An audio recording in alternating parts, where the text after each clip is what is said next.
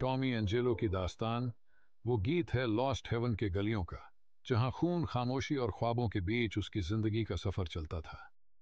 1930 के साँझ में वो सिर्फ़ एक टैक्सी ड्राइवर था, जिसका सपना बस अपने गैराज और प्यारी बेकी के साथ ज़िंदगी गुजारने का था। लेकिन किस्मत की एक चंचल चाल उसे फेंक देती है सैलियरी परिवार के माफिया संसार में। एक गलत रात, एक गलत जगह पॉली से टकराव। यही काफ़ी था टॉमी की ज़िंदगी को अंधेरे रास्ते पर मोड़ने के लिए। डर के बीच जमीर की चिंगारी चमकी। उसने दिखाया पॉली को कि वो कोई कमज़ोर शिकार नहीं है।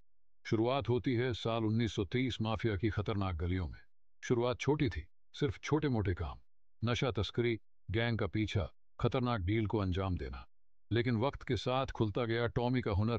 वो सीखता गया हथियार चलाना, दुश्मनों को धोखा देना। हर मिशन के साथ उसकी साख बनती गई। वो सैलरी का विश्वास पात्र बना। छोटे गैराज को बदल लिया बड़े अपार्टमेंट में। सस्ते कपड़ों की जगह ले ली महँगे सूटों ने और बेकी को वो दे पाया जिसके वो कभी सपने देखती थी, टॉमी। पर वो जानता था कि माफिया की दुनिया कितनी खतरनाक है। लेकिन प्यार के लिए, बेकी के सपनों को पूरा करने के लिए, वो कदम बढ़ा लेता है। धीरे धीरे टॉमी का हुनर उभरता है। पॉली के साथ मिशन, खतरनाक डील, धोखेबाजी, खून खराबा और हत्या। हर कदम पे थे। टॉमी की ज़िंदगी बदलती जा रही थी। वो बहुत जार्ज सैलियरी का भरोसेमंद आदमी बन जाता है। उसको पहला काम पॉली के साथ करना था, रेस्टोरेंट की सुरक्षा का काम, जहाँ उसे शहर के अन्य माफिया गैंग्स के साथ आपसी समझदारी बनाए रखने का आदान प्रदान सीखना पड़ता है। यहाँ पर टॉमी ने अपनी कुशलता और आपसी संबंधों में विकसित होने की शुरुआत की। टॉमी को विभिन्न मिशनों में भाग लेना पड़ता है, ताकि वह गैंग्स की नेतृत्व कर सके। इस बीच उसका माफिया जीवन संगीन होता जा रहा था और उसे अपने बॉस की सामंजस्यपूर्ण उत्तरदाता बनने का अवसर मिलता है।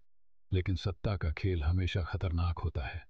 फ्रेंकी सैलियरी का ही आदमी लालची निगाहों से देखता है डॉन की कुर्सी को।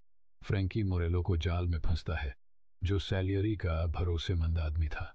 खून की नदियों बहती है, लॉस्ट हेवन की सड़कों पर दोस्त दुश्मन बन जाते हैं और टॉमी खींच चला जाता है इस घरेलू जंग में।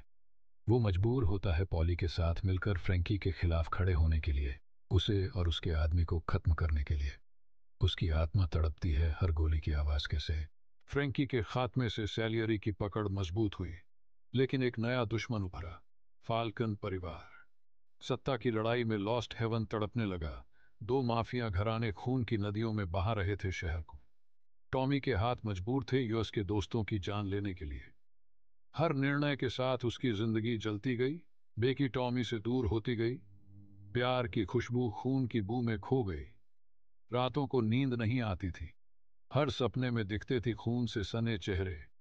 उसकी आत्मा तड़पती थी, वो अंदर ही अंदर चीखता था, वो समझता था कि उसने जो रास्ता चुना है, उसकी कीमत बहुत बड़ी है।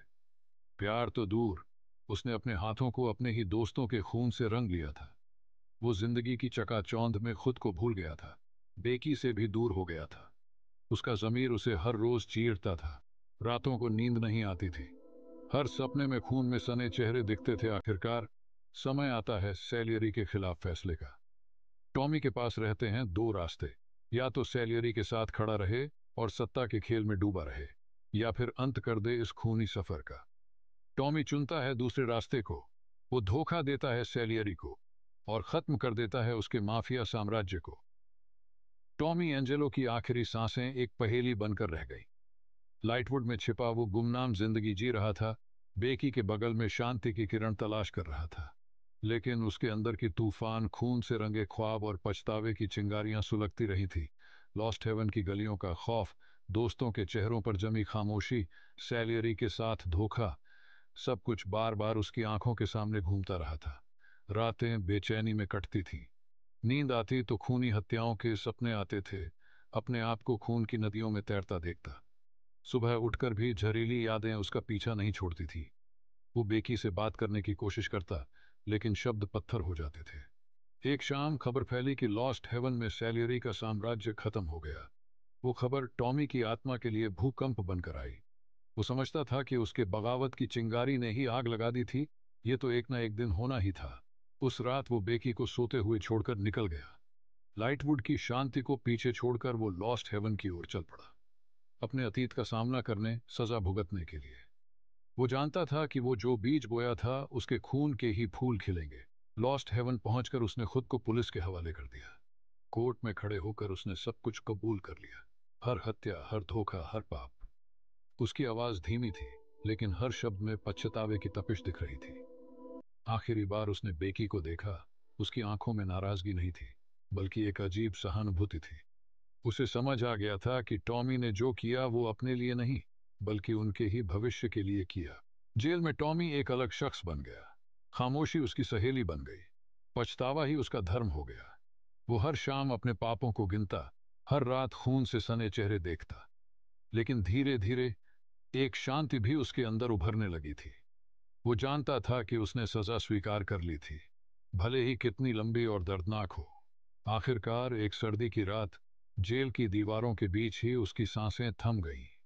वो एक गुमनाम शख्स की तरह गया, लेकिन उसकी कहानी लॉस्ट हेवन के गलियों में, माफिया की खूनी दास्तानों में हमेशा सुनाई देती रहेगी। एक कहानी सत्ता के लालच की, खून के दागों की और एक शख्स के अंतहीन पछतावे की।